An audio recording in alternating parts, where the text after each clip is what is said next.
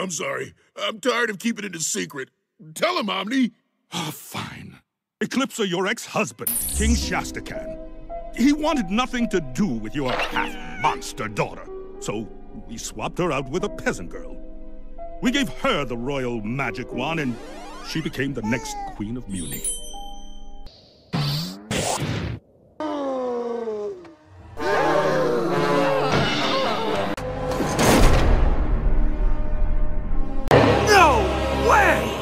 Eclipsa has been found guilty of crimes against humanity.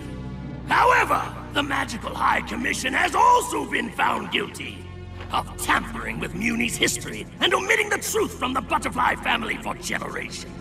This concludes the trial. Although, if we're all being honest here, it seems like y'all still have some issues to deal with.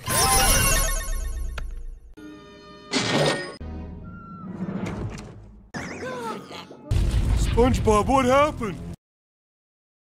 No, you lie! You lie! It can't be. It can't be. You lied to our family for generations. We had to. Can you imagine if the power of magic fell into the hands of a monster? You let us live a lie. We shouldn't even have the throne. Eclipsa isn't even. Wait. You aren't actually my great, great, great, great something grandma.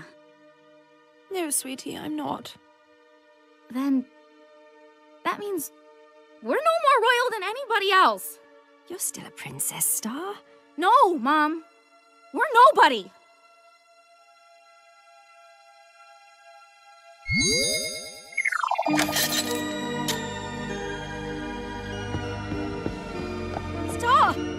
wait!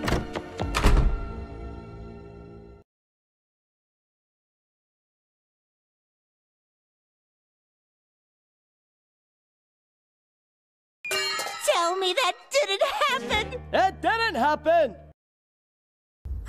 Good luck sleeping tonight.